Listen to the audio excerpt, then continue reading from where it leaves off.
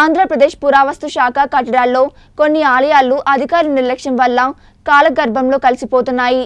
అనంతపురం జిల్లా కంబదూరు గ్రామంలో పురాతన కాలంలో నిర్మితమైన జైన్ టెంపుల్ పరిస్థితి అత్యంత దారుణంగా తయారైంది.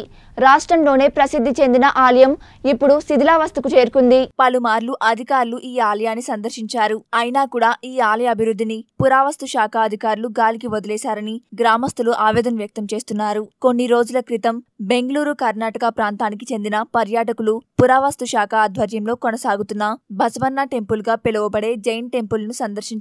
అయితే పూర్తిగా జైన్ టెంపుల్ శిథిలావస్థకు చేరుకోవడంతో పర్యాటకులు అక్కడి నుంచి నిరాశతో వెనుదిరిగినట్లు ఒక సెల్ఫీ వీడియో ద్వారా నైన్టీన్ న్యూస్తో అసహనం వ్యక్తం చేశారు. ఇప్పటికైనా సంబంధిత అధికారులు స్థానిక నాయకులు ప్రాచీన చరిత్ర కలిగిన జైన్ టెంపుల్ పునర్నిర్మాణం పనులు చేపట్టాలని పర్యాటకులు కోరుతున్నారు.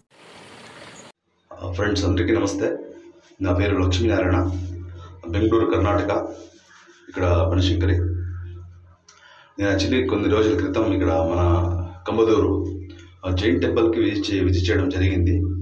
కాకపోతే అక్కడ ఆ ఒక ఆలయము చాలా ఒక శిథిలావస్థం ఆ శిథిలావస్థలో ఉన్నట్టు ఉన్న ఉన్నది చూసి చాలా మాకు కూడా నిరాశ కలిగింది. నిరాశతో మేము కూడా వెనుదిరి వెనుదిరిగాము. సో దీనికి సంబంధించిన అధికారులు ఎవరైతే ఉన్నారో దయచేసి ఆ ఆలయం ఒక పునరుద్ధీకరణ గురించి దయచేసి చర్యలు తీసుకోవాలని ఒక స- ఒక సవినయంగా విన్నవించుకుంటున్నాము.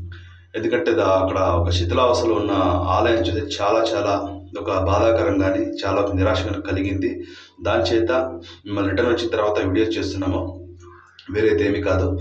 ఓకే దయచేసి దీనికి సంబంధించిన అధికార వర్గం దీని పునరుద్ధీకరణ గురించి ఆలోచించాలని మేము మరీ మరీ వినిపించుకుంటున్నాం thank you thank you so much